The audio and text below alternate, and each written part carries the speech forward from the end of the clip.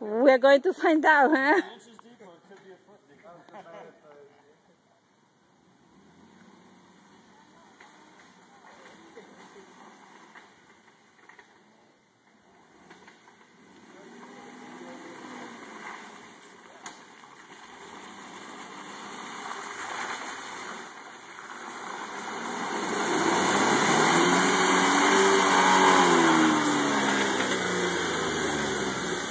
That was too easy.